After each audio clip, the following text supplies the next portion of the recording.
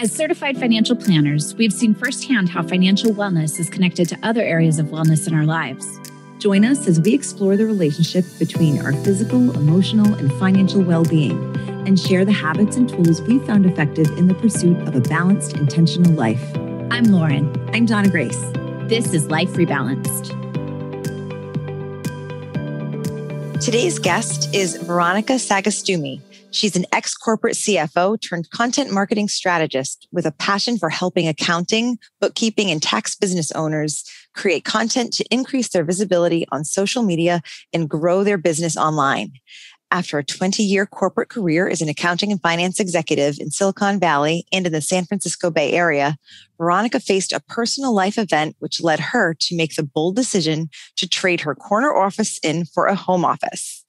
In 2011, Veronica left her CFO position to start her own consulting practice to work with startup companies as their business consultant. Fueled by her experience, Veronica skyrocketed her practice to quick success. In 2016, she ventured online to help other accounting, finance, and tax business owners learn how to show up online with a strong content marketing strategy to attract and connect with clients helping them to show up like the experts they are, make a greater impact, increase their online visibility, and grow their business online is her primary vision and goal.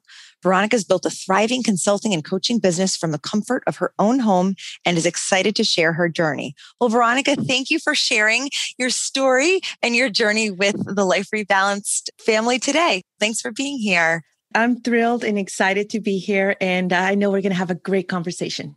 We are. So, two things stand out to me about you. One is really your story behind your business transition is what I'm honestly most interested in. I love the idea of being in a corporate setting, working really hard, is what it sounds like, and then taking all of your skills, your network, but also your passion to pivot all of that into something that aligns with your values and the mission you're looking to accomplish. But then also what drove you to that. So, can you share with us your story about your journey and how you got where you are today? Absolutely. I don't want to say it was one of my favorite stories to share, but it has a little bit of everything for so many people that it resonates with them and they can relate to or they recognize where they are in their journey. Because many of us, we start that traditional route. You know, we go to school, it's embedded in us to get that corporate job or to start going after that corner office. The corner office that represents success, financial, title, staff, team, accolades, whatever it is.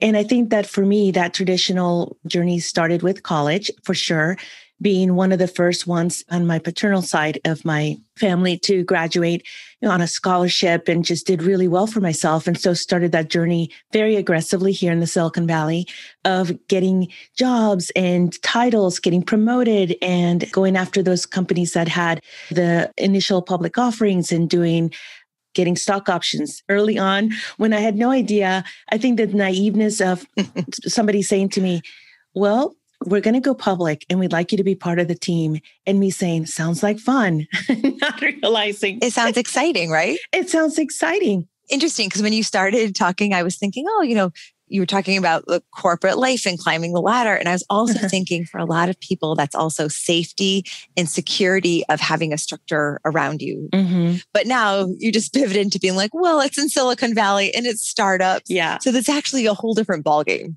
It really is. And I think that early on in my career, because it was just a couple of years out of college, that I got introduced into this world of startup companies, aggressive, aggressive growth that I didn't realize it at the time, but I was getting such a great education for when I would later on for my own business and my clients that I could help.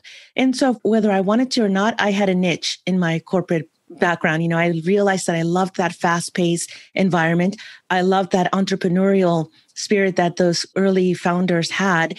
And there was such an energy to it and you had to make decisions fast as we used to say and still say in the valley it's like fail fast and fail often because we learn so many lessons from the failure not the success the success well, that's like, a gift yeah it really is yeah to be able to learn from your failures and look at them as stepping stones as opposed to failures Exactly.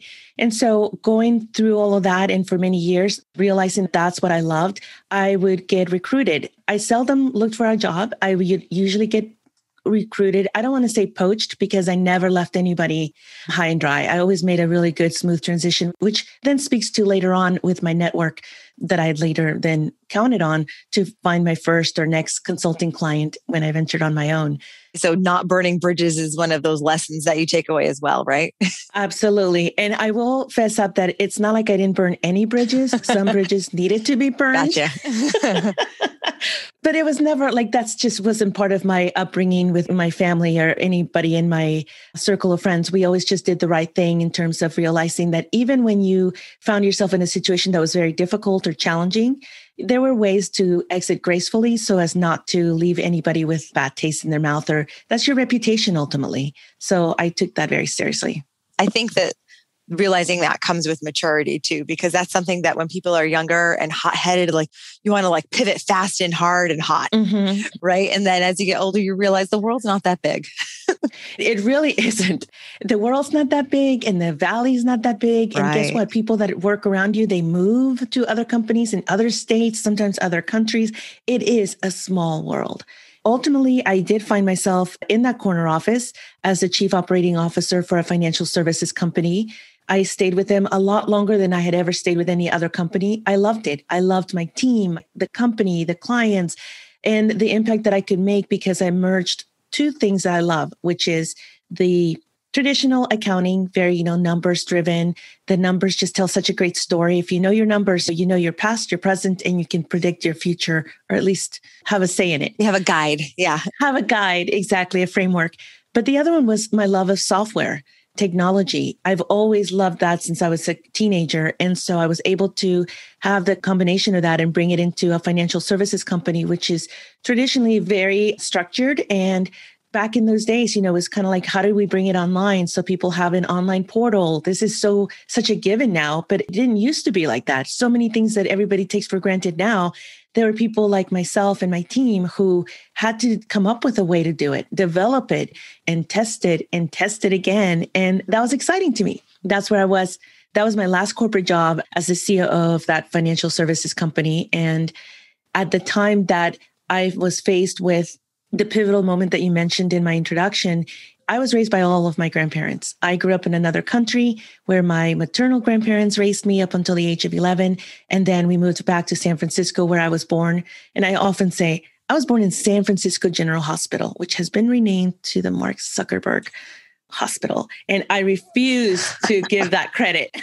so that is a generational thing. it is a generational It's thing. like around here in the Northeast, people give directions by saying, like, you turn where the old Almax was. Like, it's always giving directions like where the old landmarks were. Exactly. You're at the old San Francisco General. Gotcha. I am. And so from that age, I was raised by my paternal grandparents. And so I had one grandmother left at the time that I was in that corner office, and she was my life, my light, everything. She just was such an incredible human being. And I was so lucky that I call her my original life coach, that I inherited so many or was taught so many of her beautiful traits. And so at the time, my career was just skyrocketing, and people think the corner office comes with all these perks, which it does but it also comes with a tremendous amount of responsibility, stress, overwhelm, sleepless nights, mm-hmm. weekends, holidays. You're working through all of it because you feel such a high level of responsibility for your team, the company, the clients.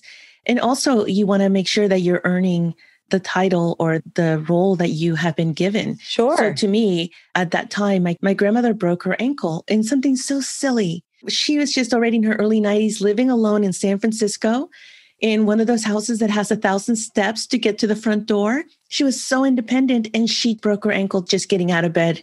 She entangled her foot in the sheets. So all of us were just like, we just couldn't believe that had happened. But at her age, there was so much more risk. All of us rallied. I have a very close knit family who we all took turns in being part of her care. But she and I have always had a really close bond, always. And so I knew that I could get her to do things that the physical therapist couldn't do after the surgery, or that her spirits would be even a little bit better if I was around or more present with the doctor's appointments. But unfortunately, I was constantly in that dilemma of being torn. When I was with her, I was guilt ridden that I wasn't with my team. or that I wasn't available to attend another meeting or a conference or whatever. And when I was with them, with my company, I wasn't with my grandmother. And by the time I drove home, there was nothing left for anybody else in my home, in my home life, let alone myself. You were torn between two things you, you cared about and felt dedicated to and responsible mm-hmm. to. And you want to bring 100% of yourself to both of those situations. And when you feel torn between, you can't bring it to either. Exactly.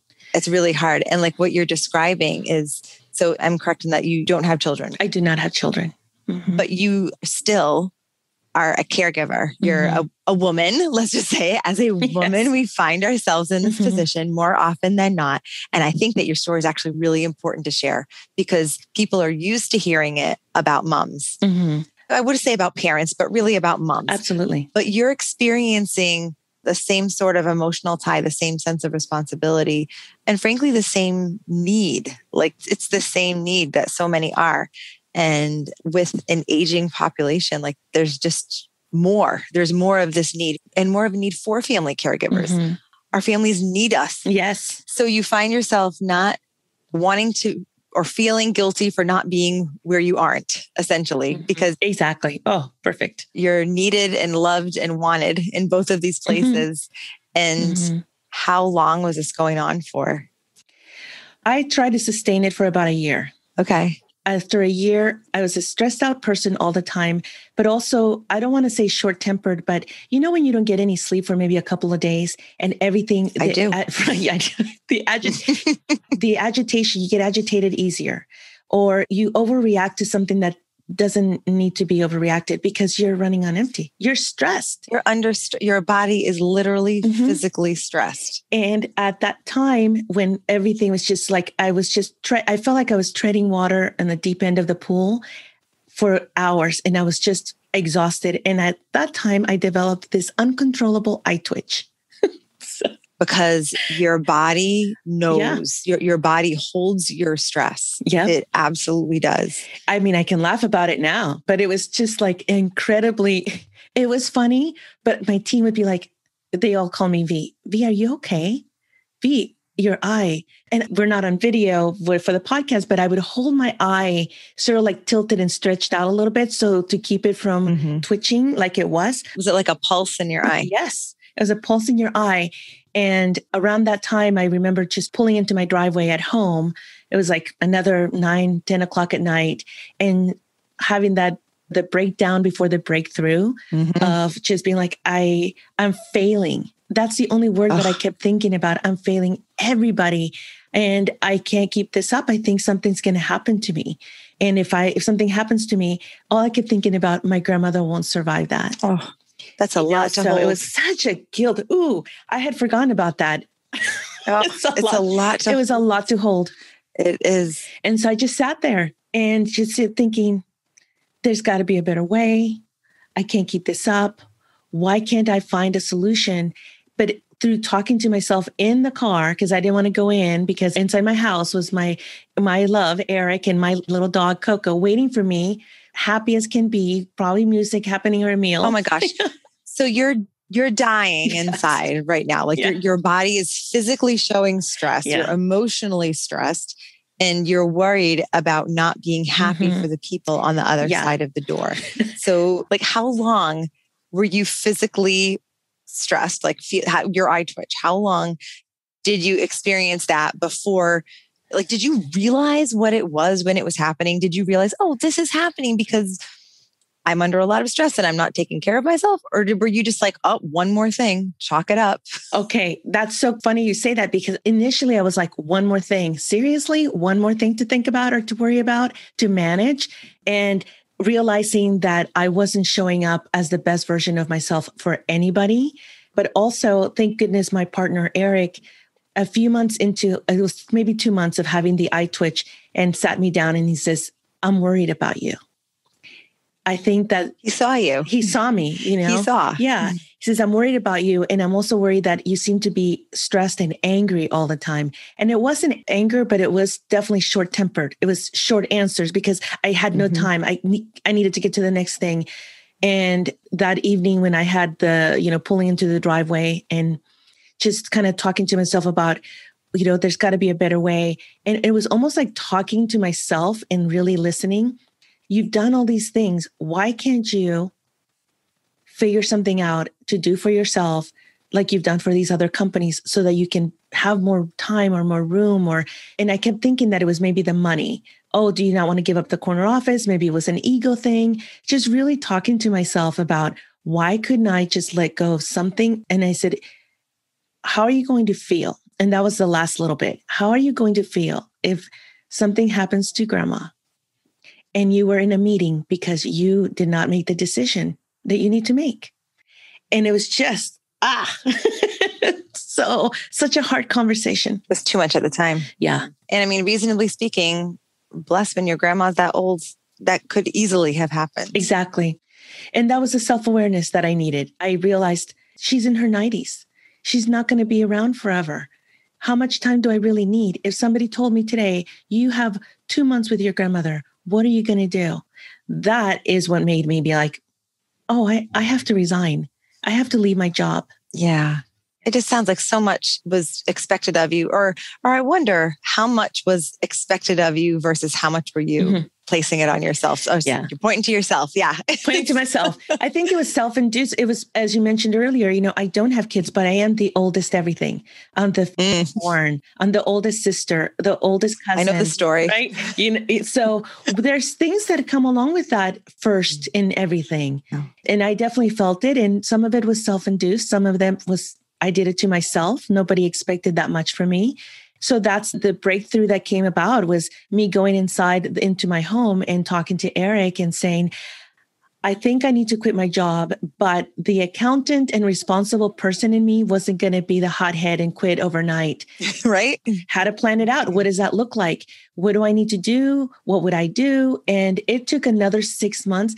But can I just say that the moment I made the decision of what I was going to do, I could breathe again. I believe you. I should up differently. I was just going to ask actually, mm-hmm. did you feel like you lost 10 pounds? Yeah. Did you feel like a weight was just lifted? Yeah. Well, it's like you can start to see the light at the end of the tunnel. Yeah. I had an experience a few years ago where I had said yes to too many things mm-hmm. and my stuff was not as intense. I just want to say as what you're explaining that you went through. But that being said, mine was not as intense. And once I finally put one thing off my plate, I felt a huge amount of stress relief it was like a tightness in my throat or in my chest and like just worrying about mm-hmm. getting things done by other people's deadlines and meeting expectations, but also just not wanting to let people down that I'd committed to. Yes. And so I can only imagine that if one of those people is my family and actually working in a family business, I will say that one of those people is always my family.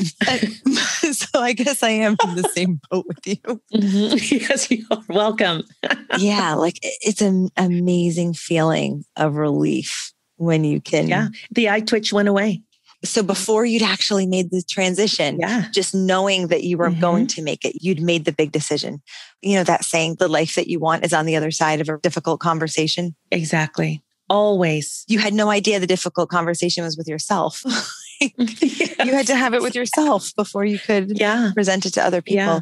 All right. So six months of just like unsustainable schedule, unsustainable commitment, stress, then realizing things need to change and then setting yourself up for your career pivot. Is that where we are kind mm-hmm. of? Absolutely. So when did you share with your team that you were going to be leaving and what were you doing to get yourself ready? Because now i have to think oh. that it's almost like you have a side hustle. You you've got your job and then mm-hmm. but you've got to prep something on the side. Meanwhile you're still caring for your family. So where are you in all this? What does it look like? Exactly.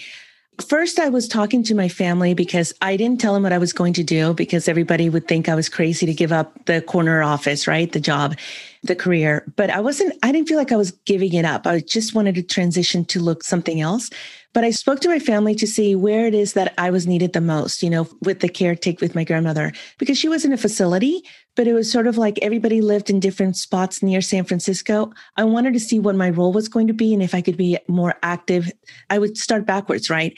by knowing how I was going to show up for my grandmother, where she needed me and where the, I could help the family out, I could then carve out what does that business or consulting gig side hustle look like in order to give me the flexibility that I need because my priority was to be there for my grandmother and to help out with my family. And so I started to think about what could I do what could I offer in order to generate an income that wasn't such a big hit to put my own home life in financial debt or jeopardy. And so I started to think about, oh, what could I consult in? I've done all these things in my background with the accounting and finance with all these startups. And so I started to put some feelers out there and reach out to people just with a simple email, asking them more about where they were at, what were their company needs, where they were getting stuck in the scenario of if this, then that. Hey, if I was to do this, would that be helpful to you? Is that something you'd be interested in? Before I even made an offer, I was already what they call nurture your network, right? I was just reaching out to find out how they were doing. I follow up with what's going on in their business. And then the third one would be a little bit more about what I was thinking about doing. It's like your market research. Yeah. Yeah. and my market research was like, hey, if you become available, let us know. We'd be interested to talk about what role you could play in our business as a consultant everything was as a consultant. I could not be an employee. One thing for a similar one. And you were looking to gain control, not give it to somebody else. Exactly. We know starting a business is not easy. It is definitely full of risk and it you have to plan it, but it's also going to be time consuming. But I knew that I could do that on a part-time basis so that I could have more flexibility in my day to attend a doctor's appointment, to go have a quick tea or breakfast with my grandma, and then go on and help my clients later. I knew that I could do it. I just did not know what it was going to look like or what role I would play. I had played so many roles in my corporate background that I knew I could fulfill uh, something. And I needed to also put my ego in check. Hmm. Because as a consultant, I knew that I wasn't going to be like the top dog, yeah. the chief nothing, I'm the chief of chief nothing. Of nothing you know, CON. There's a lot of weight that comes with the letters chief financial officer, CFO, chief operating officer. I wasn't going to have those letters anymore. I was just going to have the experience. And so it was up to me to be okay to reconcile that shift in the role in that I knew at some point I was going to have to mourn that person that I was versus who I wanted to become in order for the ultimate goal of being there for my grandmother. I did not tell my How team. was that? Oh, it was hard. I don't think enough people talk about the transition between a corporate executive. No. And initially I was a consultant. It was later that I started to build my consulting firm, which I still have to this day. We just don't talk about it mm-hmm. when I'm talking about the content creation piece. But it was hard because as a consultant, I was used to giving a recommendation, advice as the chief operating officer and having things just get done. I was used to giving almost like a put a request in and yeah. got implemented or rolled out. As a consultant, you, you're advising, you're mm-hmm. guiding, you're giving all this feedback, input, and the client ultimately decides whether they're going to take it or leave it. And when they left it, it was like, oh my gosh. was it, it was like gutting.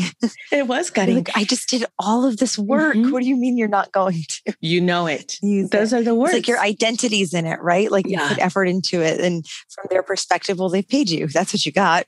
But it's exactly. It's like you put a child out there and nobody's taking care of it.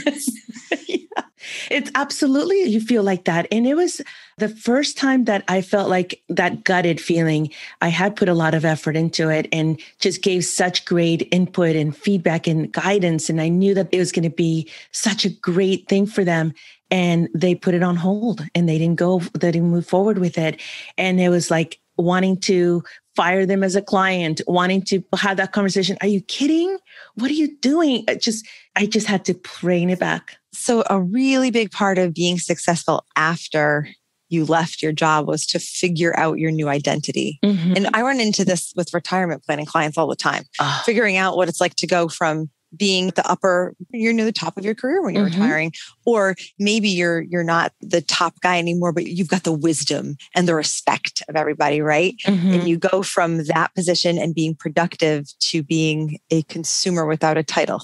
Yes. Very often grandma or grandpa but it's it's really different. Yeah. And i think that what you're talking about for people who are transitioning careers to something so different that's such a pivot mm-hmm. is really worth exploring and worth mm-hmm. like paying some time to yeah so you can be happy like you, yeah. you don't want to be unhappy if you're changing careers to be happy right mm-hmm. you were mm-hmm. looking for balance and happiness exactly and that's just it. I think that if you're going to be doing this and transitioning to start your own business or be a freelancer, consultant, whatever it is, just know that it will come it's going to hit you. Yeah. And you have to allow yourself the grace, the space, the patience to go through it, to feel the feeling. No, you didn't make a mistake. Doubt will creep in, but just know that you'll work past it because just keep people will say, Oh, think about your why. Or for me, it was think about the who. Mm. Who was I actually? Your who was your why? that- Yeah, my who was my why. I love that. I'm going to borrow that or steal it. All yours. but it's one of those things where you do mourn you have to like let that person go. It doesn't mean that it takes away your value. It's just a different identity. Yeah. and that chapter closes but another one opens and it takes time for the new one to take its place for you to feel value and to feel that confidence that comes from being a business owner where you do provide a great service where people do value what you have to say. And sometimes they're not going to but that's okay How long did it take for you to start to recognize and feel that? And how long is that also relative to how long it really took your business to get going and find its footing? So I also want to take a step back and say that you asked me about when did I tell my team? Yeah. And I didn't tell my team for a long time because we were so close. We still are close. We haven't worked together as a team in a little bit over 10 years. Mm-hmm. But we still see each other. We text, we FaceTime, we keep in touch because we just go through so much. And we've also been part of each other's lives personally throughout the years. I didn't tell them for a month before I left. Okay. I told them that I was going to be resigning. I didn't want to tell them while I was thinking about it because I knew that they could talk me it out of it. sway you. Absolutely. And I needed to tell them once everything was in play because then I couldn't go back. There was no like rolling back or there's a saying like burn the boats. Well, I didn't burn the boat, but you know, I was close to it. no, you, you were on the boat leaving. Yeah. You needed to make sure you were strapped in and Exactly. couldn't jump ship. Oh, I love Yeah. that. Yes, exactly. And it was a hard conversation. There were tears and there was a lot of emotions, but they also had seen me through my journey. A few of them had also lost a parent Family. within, you know, the last few years of us to being together. So they knew where I was coming from. I got their blessing and they helped me to make that transition. oh, and good. before I left, I already had that first client. And then I had the second one shortly thereafter. Because once I left, I was very clear with the clients that I got were people that were already in my network. Mhm. And if you were in my network, you already knew that my number one was my grandmother. And so it wasn't a hard conversation for me to have with them as to why I was leaving because everybody was like, You're leaving? Well, I knew that was going to happen. So I preempted that question by letting them know why I was starting to going on my own. The story behind your change. Absolutely. They wanted some big drama. No, there wasn't any drama with the company. It was a personal decision based on I didn't want to have regrets. I didn't want to choose my career or my job over spending time with my grandmother or helping out my family and feeling good about the quality of time that I was going to spend with her as opposed to just the opposite, the other. So this was something that you did not decide to take a leave of absence. You decided to actually pivot and start a new career. So it's it was more than just having Mhm. time because a lot of people will take a leave of absence for a while to, you know, get through a family issue or a health issue or whatever it may be. Did you Mhm. see it as more than just about your grandmother or am I like thinking too deeply here? No, initially it was my grandmother. But when Eric said to me, I'm worried about you, I started to realize that it was also some really, really unhealthy habits that I had developed of working way too long, too much. The stress level always being high. Eh, there was never any downtime for that. And realizing that if maybe that my grandmother needing me or me wanting to be with her more was just the almost like a reason for me to make a move so that I could get to Mhm. get to that side of like I can't keep this pace up anymore. I've done so much. I've had a good run for it. There's got to be a better quality of life for me. Yeah. And maybe I was feeling like that would be too selfish to do. Like who quits their corner office job? You needed I- another reason. exactly. Yeah. Yep, I I get it. So you are now in another iteration of your business, right? So I know you have your consulting firm, which sounds like it was very successful, but you've also found new ways to help clients within the same niche, correct? Yes. The content marketing. So Mhm. how did your business expand or how did you decide to create this new arm of it?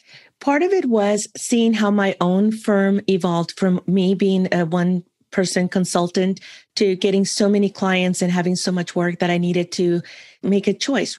For me, I started to realize, oh, I have this network of associates that I could actually outsource some of the work to, and ultimately started to expand my consulting firm for the accounting side. It just and my clients are still in my niche. You know, it's the startup companies mm-hmm. that we help out with their accounting and CFO and just all the business decisions that go into early stage.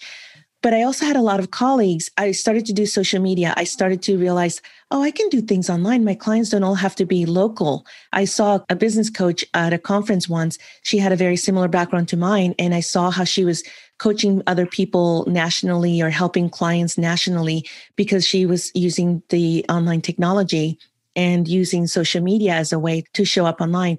I knew nothing of social media shame on me. I didn't see it as an opportunity. My LinkedIn profile was it was what the kids did. I mean, kids let's did. be honest. Yeah. Facebook, you know, yeah. If we're looking back, because this is what around like 2015, 2016, is that what we're talking about? Yeah, absolutely. Yeah. Industry has changed so fast. The way marketing has worked has changed so much in the last mm-hmm. even just five years. It really, really has. So yeah, it's like in when you talk about how many years ago, it doesn't seem that long ago, but it may as well have been like a lifetime ago in terms of the way marketing works and technology is. Exactly. So the good news is you were ahead of the curve when we all went into COVID.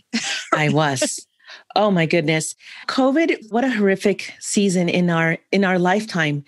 But at the same time, it's like there was such an opportunity there yeah. in my field of accounting and tax preparers and bookkeepers. It's very traditional to have an office, in person practice, or kind of like more networking, you know, at a chamber of commerce event or a workshop. So I wasn't doing any of that anymore. For years, I had been using Zoom or Google Hangouts or Skype to have meetings. I had clients, I've had clients in Boston, Chicago, Arizona, Pennsylvania, Canada.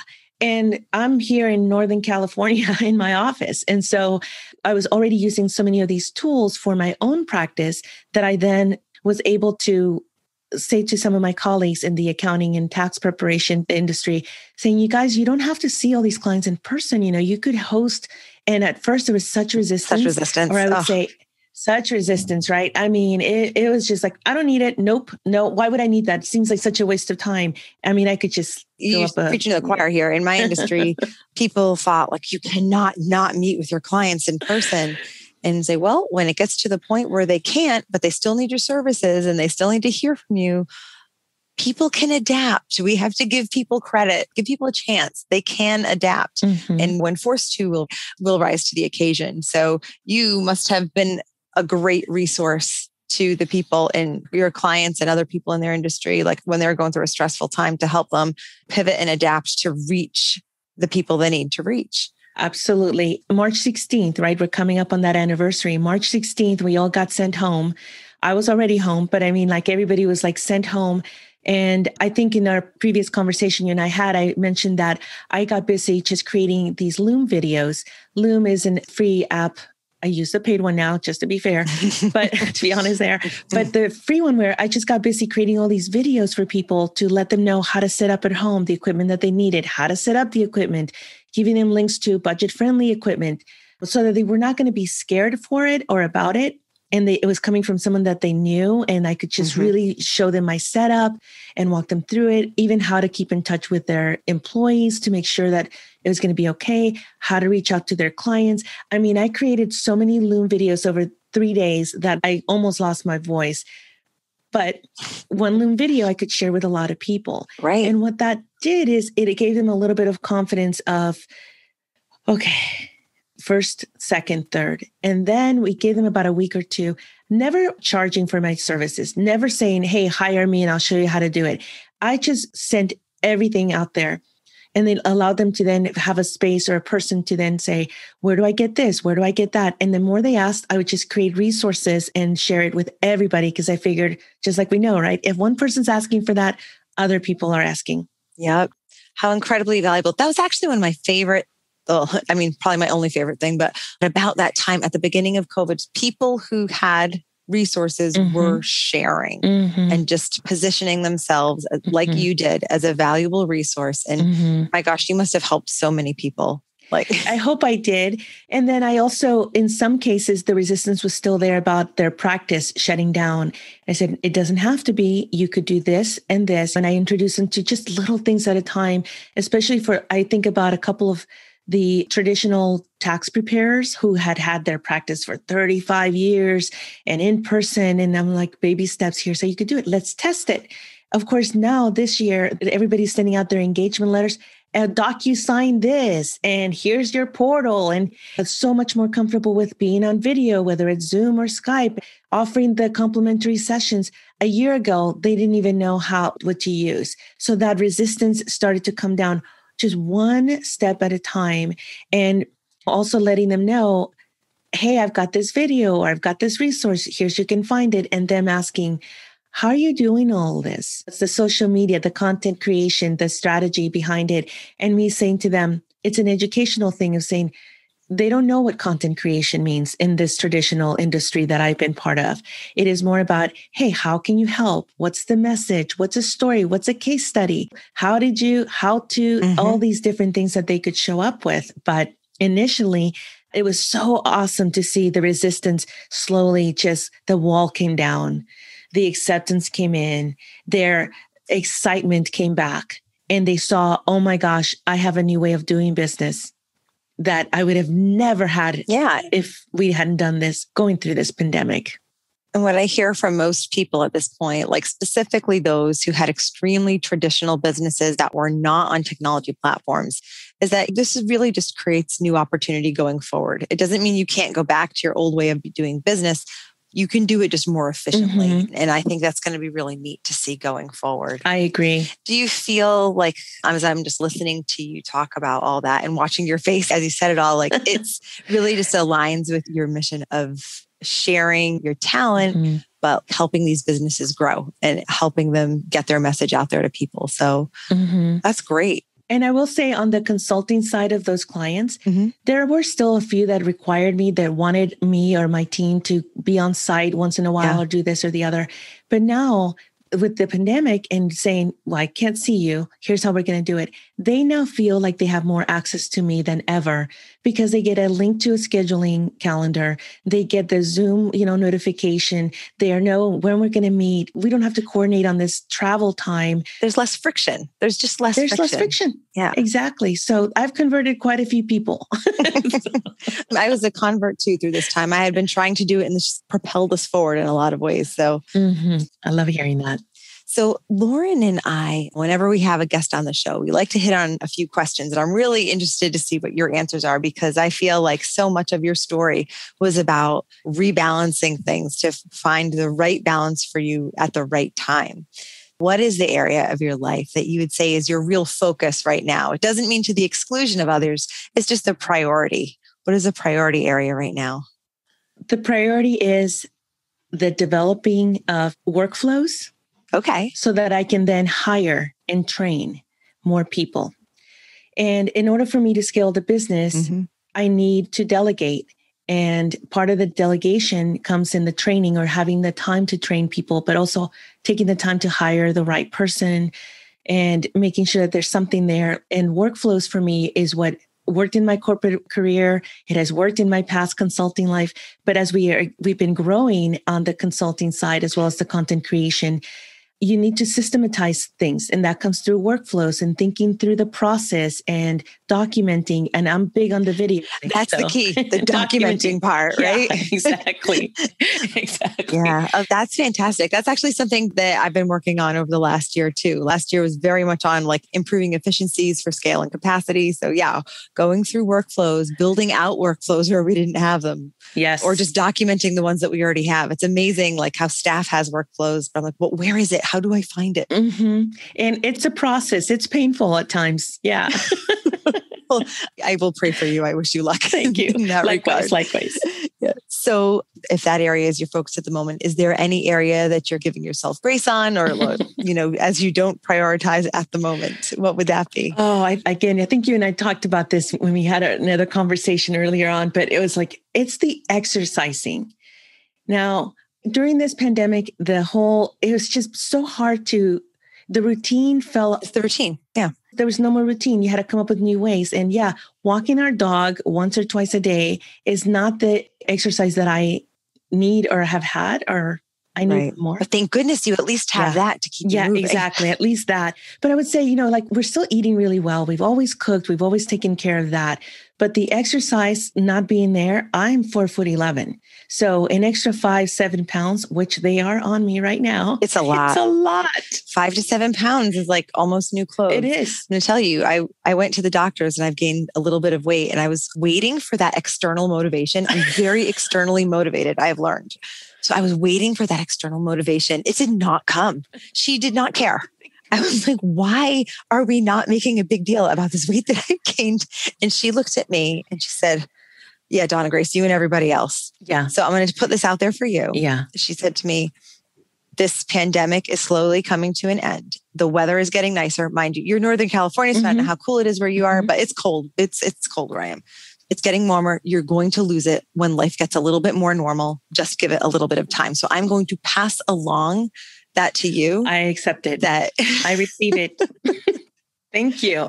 You're absolutely right. Nobody can beat us up like we beat ourselves up. Right. That is the area where I need to give myself some grace that I didn't gain 50 pounds, but even if I did, you know, it's like, okay, these are really extreme circumstances we've been going through and trying to adapt to uh, everything, adapt every everything. part of your life You're to right. it. Yeah. Adapt to everything it's a lot at once. And I think that we just expect our, like, I definitely expected myself to just be able to. I was like, you can do this. You can adapt to anything. Commit. Just commit to a routine. You can do this.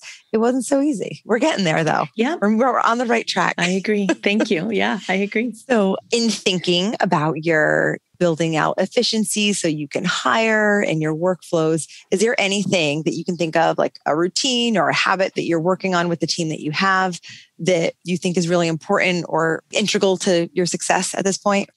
I do have two. One of them I like to share often because it is it is just ingrained in me from since I was a kid, but it was setting my intention with gratitude and every morning, you know, I just really have that it's not like a, a prayer, but it's like literally and physically listing out the things that I'm grateful for that day in that moment.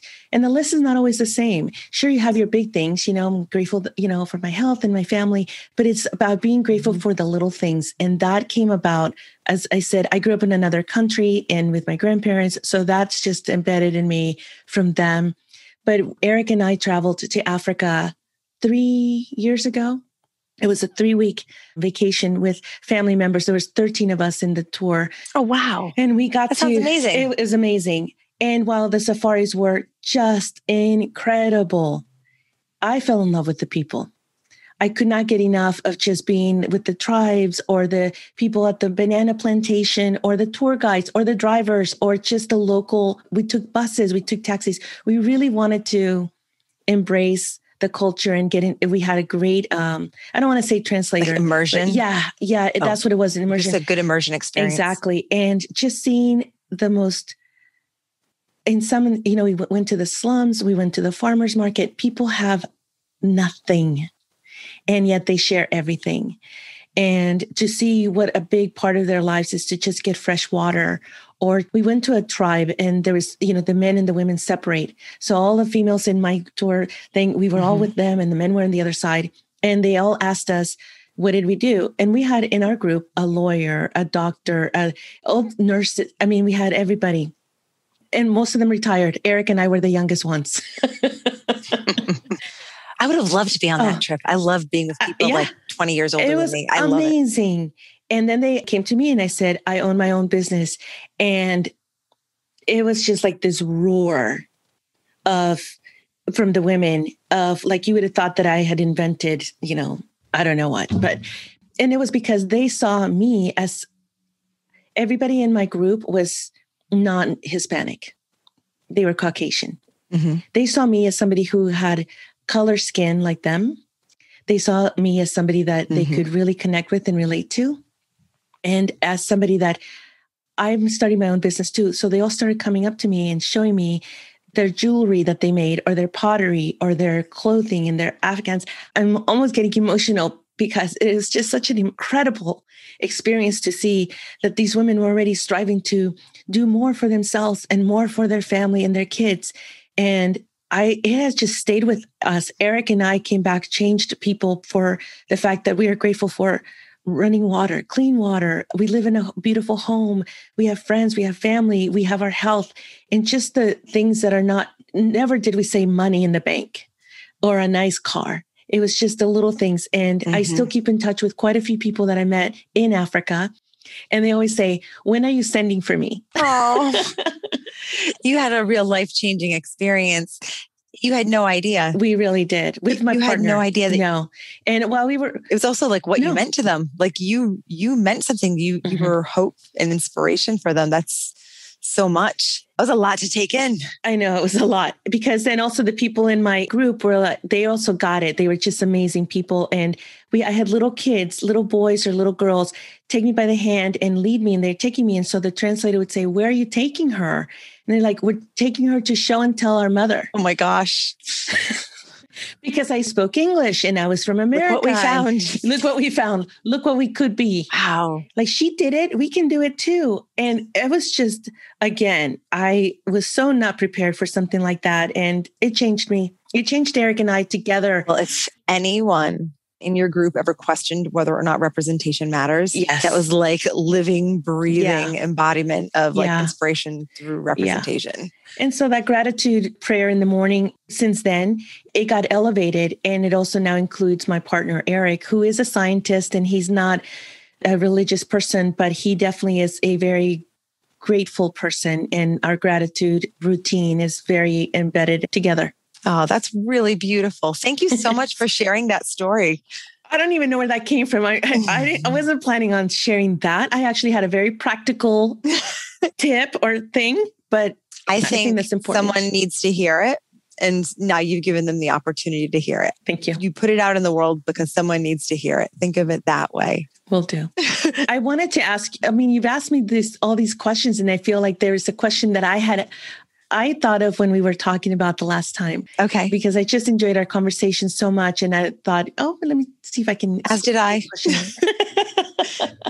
so my question to you would be who or, you know, was there a person in your childhood who made such a big impact on you in your life that you think about as an adult or how they impacted you?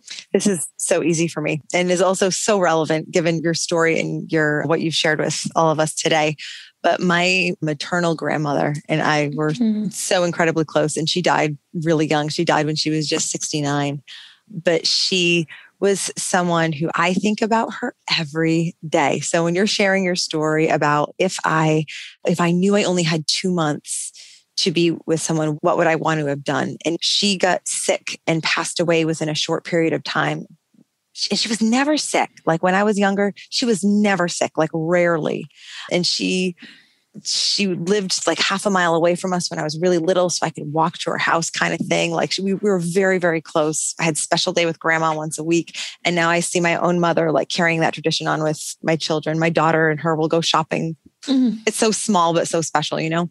Mm-hmm. But she got sick in February, and then passed away in August. So it was a very short time frame. Oh, like she went from being a healthy, active person to passing away. And I, the last time I saw her, I didn't realize when I was going to see her why we were there. I was a teenager and I walk I was like so like shaken by it. The way you got emotional telling a story, like I can feel my throat tighten when I talk about it.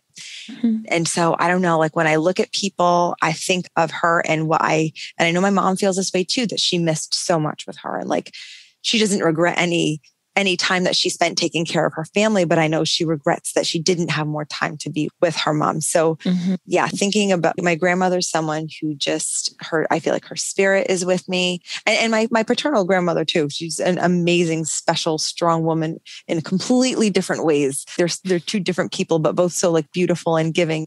But I and when I think about her, what I think about is how like the relationships that we have and the small things that we do that aren't about money and that aren't mm-hmm. grandiose, but are just about being a person that other people know they can go to. So, like, I knew that I could go to my grandmother. Mm-hmm. You know what I mean? Mm-hmm. How did we get into this like psychology session here? But it's like therapy session. But like, I knew she was someone that no matter what kind of little jerk I was being, she it was okay to go to her, and she wouldn't tell me that I wasn't being a jerk when I was, but she, but I knew she loved me mm-hmm. anyways and like all of the small things that I have with her, like all of the things like that are so sensory, like with the cooking and, and mm-hmm. food and I, she is so with me. She's just so with me. So while she wasn't someone who was highly educated, she was not someone who had a big career. My gosh, she didn't even drive. She didn't drive Mine as an adult. She had been in a really, she'd been in a car accident and was just petrified of it after that. So my amazing grandfather would drive us wherever we went or we would take public transportation. So there was nothing grandiose about our relationship, but it was just close and Mhm. tight and special and deep. And I don't know. So I just think about wanting to be that to Mhm. someone else at some point. Like I feel influenced by that, by wanting to be someone that makes someone feel safe and seen. Like I felt seen and Mhm. listened to and cared for. Mm. I don't know if that's what you thought you were going to get out of me in that oh answer. my god that's such a beautiful story and you're right i'm so happy that not only that you shared it with me but you shared it with your listeners because it just gives another insight into who you are and and what makes up but with your core at the core who you are who has shaped you and influenced you oh, thank Oh, you so much you. what a great you know what a thing to have in Thanks for common giving me you the opportunity. like that was a nice opportunity. Like I don't know how I ever would have like worked my grandmother into this. So Yeah. thank you for giving me the opportunity to share. So going back into my my business mode, this is really nice.